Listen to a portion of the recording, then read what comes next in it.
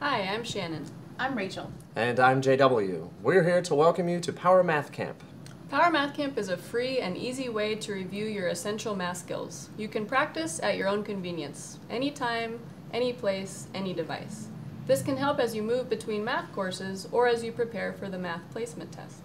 Power Math Camp covers a wide variety of topics. You can move through the topics sequentially as they are listed, or pick and choose which topic is more beneficial to you.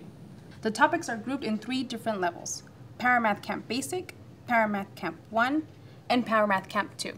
The approach to covering each topic is consistent, so you'll quickly learn how to use all of the available resources. For every topic, you can read through some examples, reinforce what you are learning by watching a short video tutorial, try out some practice on your own, and then check your answers, take a quiz for instant feedback on your progress, and of course, don't forget to enjoy your time.